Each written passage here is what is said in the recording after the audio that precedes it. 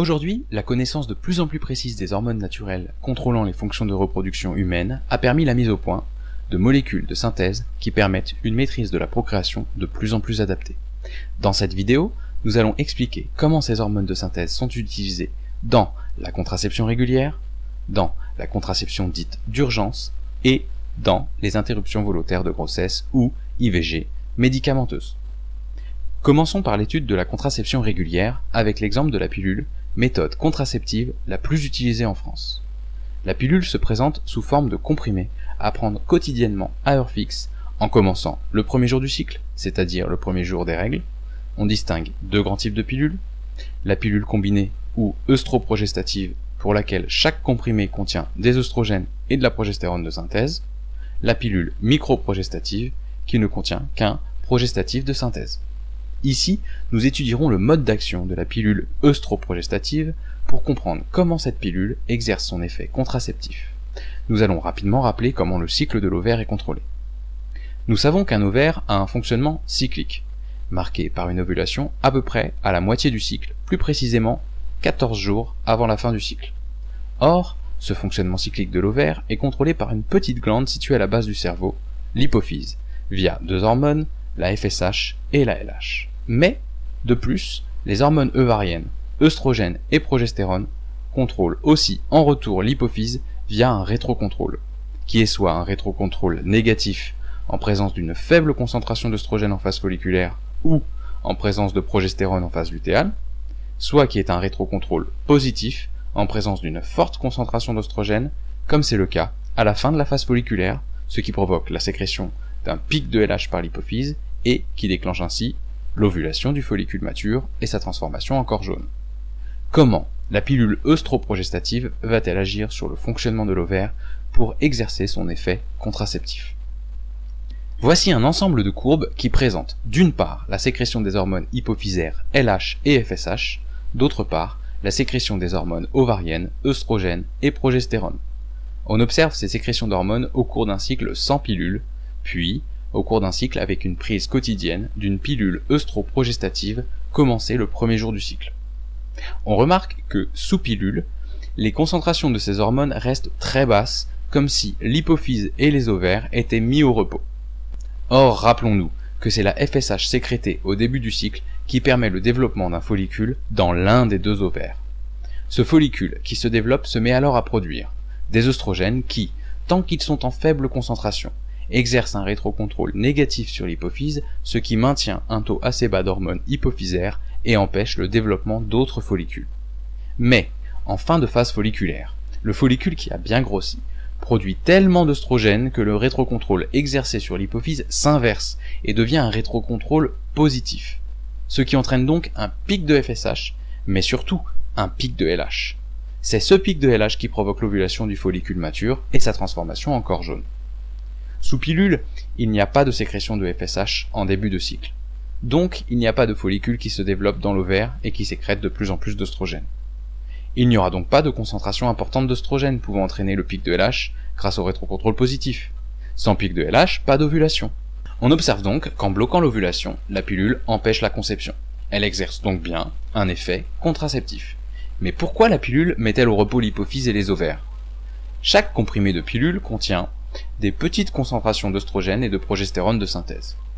Or, le premier comprimé est à prendre le premier jour du cycle, c'est-à-dire le premier jour des règles, quand le corps jaune du cycle précédent vient de disparaître. À ce moment-là, normalement, les taux d'hormones ovariennes sont très bas, ce qui lève le rétrocontrôle négatif qu'exerçaient les oestrogènes et la progestérone, sécrétés par le corps jaune, en phase lutéale sur l'hypophyse. L'hypophyse peut donc se remettre à sécréter de la FSH qui stimule le développement d'un follicule ovarien et lance un nouveau cycle. Mais, si on commence à prendre une plaquette de pilule le premier jour du cycle, alors les hormones de synthèse qu'elle contient vont exercer un effet négatif sur l'hypophyse, ce qui l'empêche de sécréter de la FSH, ce qui ne déclenche pas le développement d'un follicule et donc ne lance pas de cycle ovarien. On comprend donc que les hormones de synthèse de la pilule contraceptive, en exerçant un rétrocontrôle négatif sur l'hypophyse, mettent les ovaires au repos et bloquent l'ovulation, ce qui empêche une grossesse. Au cycle suivant, si on ne prend plus la pilule, un cycle naturel peut recommencer. L'effet contraceptif de la pilule est réversible. De plus, la pilule contraceptive a aussi un effet sur la glaire cervicale produite au niveau du col de l'utérus. En effet, rappelons-nous que ce mucus présente un maillage serré bloquant les spermatozoïdes à l'entrée de l'utérus, sauf au moment de l'ovulation, grâce à la forte concentration sanguine d'œstrogène qui augmente la filance de la glaire. Sous pilule, comme les ovaires sont mis au repos, la glaire cervicale garde un maillage serré tout le long de la prise de pilule, empêchant les spermatozoïdes de pénétrer dans l'utérus et de remonter dans les trompes. Enfin, la pilule a également un effet sur la muqueuse de l'utérus. Nous savons que les sécrétions d'hormones ovariennes par les ovaires contrôlent le cycle de l'utérus. Comme sous pilule les ovaires sont mis au repos, la muqueuse de l'utérus ne se développe pas correctement. Elle ne pourra pas accueillir un embryon lors d'une éventuelle grossesse. On dit que la muqueuse est impropre à la nidation de l'embryon. L'effet contraceptif de la pilule est donc triple. En mettant les ovaires au repos, il n'y a pas d'ovulation, empêchant ainsi une fécondation.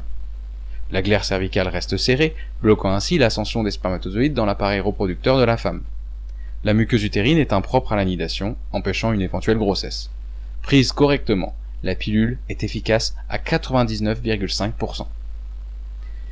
Grâce à la connaissance de plus en plus fine des hormones de synthèse et de leur fonctionnement, la recherche a pu mettre au point des pilules contenant de moins en moins d'hormones, ce qui a permis de diminuer leurs effets secondaires comme la prise de poids ou la baisse de libido.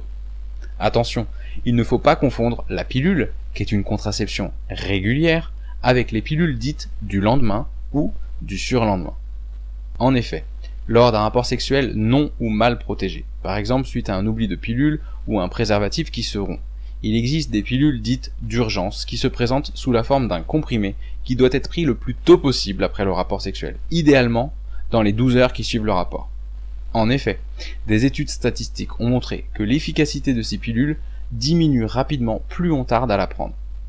Comme on peut l'observer, en comparant le modèle moléculaire de la progestérone naturellement produite par les ovaires avec le modèle moléculaire de la molécule de synthèse contenue dans la pilule des lendemains, les molécules contenues dans ces pilules d'urgence sont très proches de la progestérone et peuvent donc se fixer sur les mêmes récepteurs que celle-ci. Or, nous avons vu que la progestérone exerçait un rétrocontrôle négatif sur l'hypophyse. Les pilules du lendemain empêchent donc la conception, en bloquant l'ovulation, si celle-ci n'a pas encore eu lieu, grâce à l'effet inhibiteur de la progestérone sur l'hypophyse, qui empêche ainsi le pic de LH et donc l'ovulation. En modifiant la filance de la glaire, pour qu'elle empêche le passage des spermatozoïdes, et en modifiant le développement de la muqueuse de l'utérus, ce qui perturbe la nidation de l'embryon. Toutefois, ces pilules sont, à juste titre, qualifiées de contraception d'urgence et non de contraception régulière, car, d'une part, elles sont moins efficaces que la pilule régulière dès lors qu'elles ne sont pas prises dans les 12 heures qui suivent le rapport. D'autre part, la quantité très importante d'hormones de synthèse contenues dans le comprimé est responsable d'effets secondaires comme des nausées ou des douleurs abdominales et perturbe le cycle féminin avec des effets à long terme mal connus. Enfin, le dernier exemple que nous allons aborder dans cette vidéo est celui de l'IVG médicamenteuse. En effet, lors d'une grossesse non désirée, on peut avoir recours en France à une interruption volontaire de grossesse ou IVG. Cette IVG peut être pratiquée jusqu'à la 12e semaine de grossesse, soit 14 semaines après le début des dernières règles. Deux méthodes d'IVG sont pratiquées en France. L'IVG médicamenteuse qui peut être pratiquée jusqu'à 7 semaines de grossesse, et l'IVG chirurgicale par aspiration jusqu'à 12 semaines de grossesse. Nous allons nous intéresser ici à l'IVG médicamenteuse. Quel est le mode d'action de l'IVG médicamenteuse? Lors d'une grossesse, l'embryon s'implante dans l'utérus, dans la muqueuse. Contrairement à ce qui se passe lors d'un cycle classique, lors d'une grossesse, la muqueuse utérine est maintenue. Il n'y a pas de règle. Lors d'une grossesse, le corps jaune ne disparaît pas et continue de sécréter de la progestérone. Cette progestérone, en se fixant à des récepteurs spécifiques de la muqueuse, permet le maintien de celle-ci pendant toute la grossesse. Il n'y a donc pas de menstruation. Si on compare un cycle féminin normal et un cycle où la femme prend le médicament utilisé dans l'IVG, le RU486, appelé également mifepristone, on observe que les règles sont avancées, plus précisément qu'elles semblent même être déclenchées par la prise du médicament. Ces règles, qui correspondent à la destruction de la muqueuse utérine, où se loge normalement l'embryon, pourront donc entraîner l'expulsion de l'embryon et donc un avortement. Ce médicament empêche donc la gestation de l'embryon. On le qualifie donc de contrat gestif, à ne pas confondre avec l'effet de la pilule régulière qui empêche la conception et donc qui est qualifié de contraceptif. Comment les molécules contenues dans les comprimés de l'IVG médicamenteuse peuvent-elles exercer leur effet contragestif? L'IVG médicamenteuse consiste à prendre deux comprimés à 24 ou 48 heures d'intervalle. L'une des molécules contenues dans ces comprimés est le mifepristone ou ERU486. Comme on l'observe sur la comparaison des modèles moléculaires du mifepristone et de la progestérone, ces deux molécules présentent de fortes similitudes. Les molécules de mifepristone peuvent donc se fixer sur les récepteurs de la progestérone. Lorsque le mifepristone se fixe au récepteur de la progestérone, il bloque ces récepteurs et ne reproduit pas l'effet de la progestérone. Le mifepristone est qualifié d'antagoniste de la progestérone. Ainsi, le mifepristone se fixe par exemple sur le récepteur de la progestérone de l'utérus et empêche ainsi la progestérone naturelle de s'y fixer. Or, la progestérone est indispensable au maintien de la grossesse. Ainsi, en bloquant la fixation de la progestérone, et donc ses effets sur la muqueuse de l'utérus, la prise de mifepristone arrête la grossesse et provoque des contractions utérines à l'origine des règles. On a donc vu dans cette vidéo que la connaissance de plus en plus précise des hormones naturelles contrôlant les fonctions reproductives a permis la mise au point de molécules de synthèse qui permettent une maîtrise de la procréation de plus en plus adaptée.